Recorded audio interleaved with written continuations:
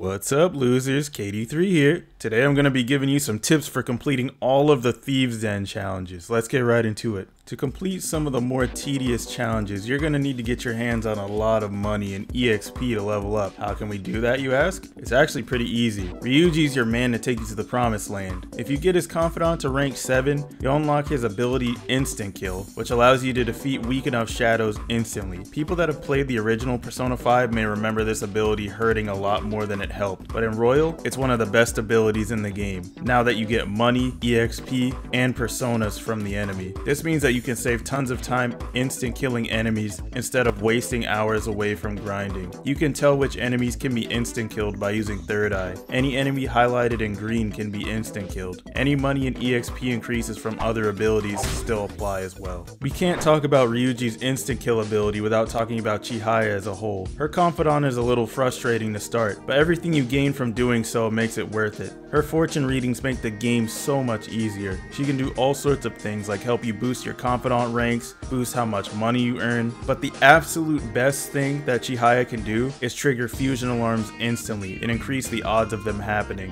Combine this with Ryuji's instant kill and it just breaks the entire game. These are the Confidants that you should absolutely prioritize if you're playing this game, especially if you're going to complete the Thieves Den challenges.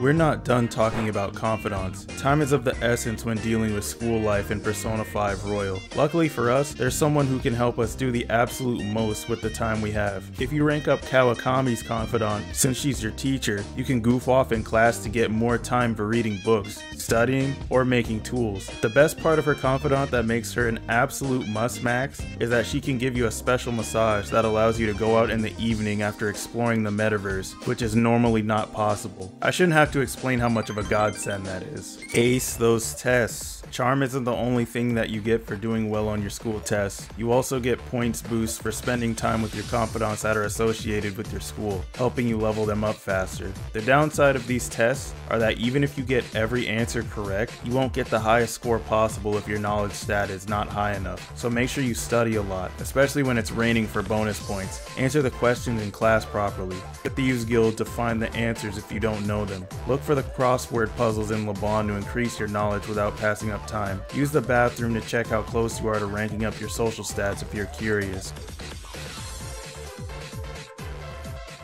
There's absolutely no way you'll be able to complete the Thieves Den 100% if you don't max out Maruki's Confidant, since you need to do so in order to unlock the third semester. He sticks around until November, so make sure to hang out with him as much as you can, and make sure your personas have matching confidants with each person I mentioned in this video so that you save as much time as possible. If you want to know what the best things are to say to them, there's online guides everywhere, so just use one of those. This next method saves you so much time that I have no clue if this was even intended by the developer developers or not. I'll be lying to you guys if I said that it didn't kind of feel like I was cheating. But if you don't have a ton of time on your hands or you'd prefer to get this done ASAP, you're going to want to know about this one. Thieves Den challenge progress is not actually tied to your save data. What exactly does this mean? Well, let's say that you decided to friend zone a girl while you were playing, but then for some reason your game shut off which caused you to lose your progress. Then let's say you decided to romance the girl instead for some reason. Well, if you check the Thieves Den, it will register that you friend zoned and romanced that that girl since your progress is not tied to the save data. This means that you can abuse the save system to complete tasks that would normally take way longer if you did them normally. You could complete the challenge for friend zoning and romancing every girl in one playthrough instead of doing a second one. Let's look at another challenge we can exploit with this method, the Gifting Master Challenge. You need to give away 10 gifts when spending time with confidants. This one can be annoying simply because it only works under two conditions. The confidant is either not going to rank up or it's already ranked 10